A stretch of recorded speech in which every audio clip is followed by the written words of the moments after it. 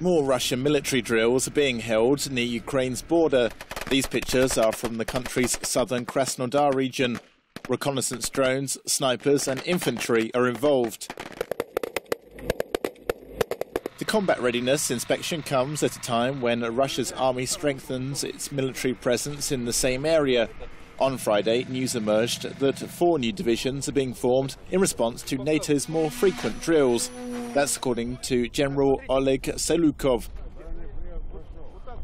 He's the commander of Russian land forces. He says troops could be deployed to Ukraine's Crimean Peninsula at short notice. The news could concern Ukraine.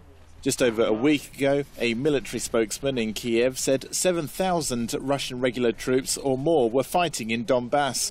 Ukraine also has no control over several hundred kilometers of the Russian frontier, allowing for the free flow of weapons and fighters.